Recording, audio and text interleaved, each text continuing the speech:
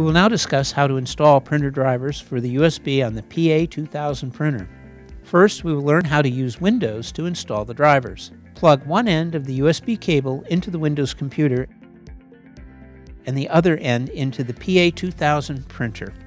The printer control panel is located on top of the machine. Push the power button, located here. The lights will begin to blink. When the power indicator green light is steady, the printer is ready. Go to your computer and type in https colon forward slash forward slash kyocera.info. Press enter. You will be taken to the Kyocera Download Center. Click on the country the machine is located in. Our example is the USA. Now type in PA2000 in the window on the screen. Find the PA2000W in our example and click it. Click on the blue arrow beside the operating system listed. Then click on the actual operating system. In our example, it is Windows 10 64-bit. Use the most recent Windows version available if possible. Next, click on the blue down arrow beside the Select a Language window.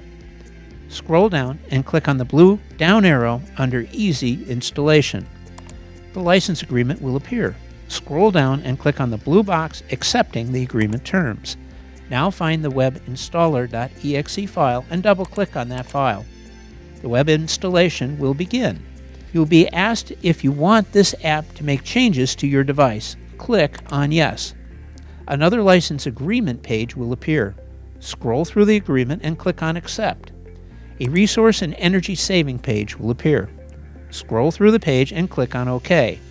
The web installer page will show three files the install file, the uninstall file, and the maintenance file. Click on the install file. Follow the install wizard to successful completion.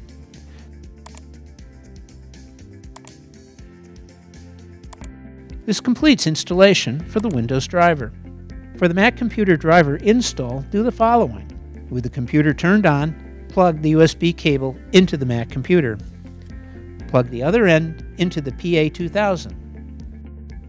The control panel for the printer is located on top of the machine. Push the bottom button, which is the main power switch. The lights will begin to blink. When the printer indicator green light glows steady, the printer is ready go to your Mac and type in https colon forward slash forward slash kyocera.info and press enter. You will be taken to the Kyocera Download Center. Click on the country the machine is located in. Our example is the USA. Now type PA2000 in the window here. Find the PA2000W in our example and click it. Click on the blue arrow beside the operating system listed. Then click on the actual operating system, in our example, Mac OS X 10.9 or later.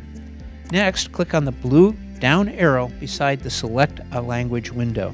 Scroll down and click on the blue down arrow by the Mac driver file. The license agreement is presented. Scroll down and click the blue box agreeing to the terms. Now find this file, OSX 10.5 or higher DMG, and double click on that file the Kyocera Macintosh installer page will appear. Click on Continue. Click on Continue again. Click on Continue one more time. The license agreement will appear. Click on Agree. Now click on Install.